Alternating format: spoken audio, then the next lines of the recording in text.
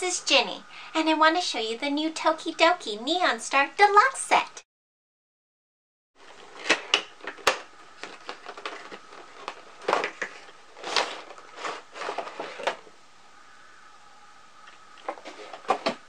Look at the pretty design.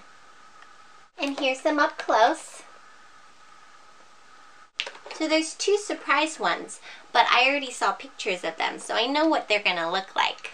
So then I don't have to buy a bunch of sets trying to collect all of them, thankfully. they're pretty stuck in here.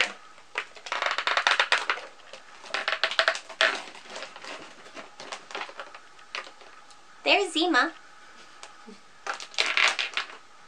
So I finally got them all out. And let me show them to you one by one. This is DJ Sparkles. I like that she has records on both sides of her. And also the glitter. It's neat. And I don't know what else to say. This is Lila Pessa. I like her crown and that she has silver on her. Donatella. This one is the regular Donatella, and this one is the new one with the shiny metallic glaze on it. See how she's all shiny? You? I really like the colors on this one and how it's kind of see-through, like water.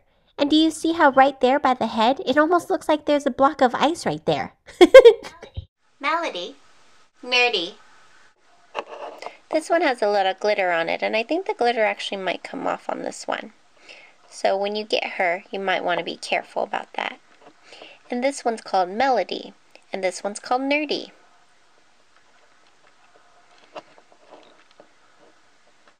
Comet. See the lightning bolt? Reminds me of David Bowie. Chocotella. And you can see Chocotella is also shiny too.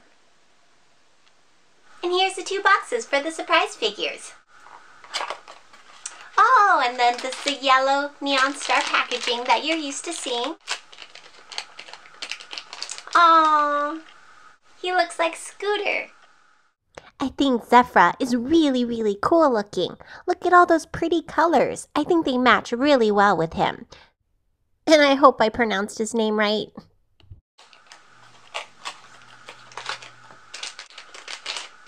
Oh, and this one reminds me of Kingsley.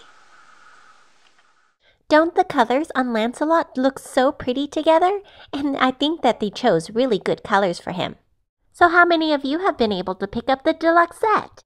Anyway, thanks again for checking out my video. Please like and comment below, and subscribe if you want to see more. And I'll see you soon!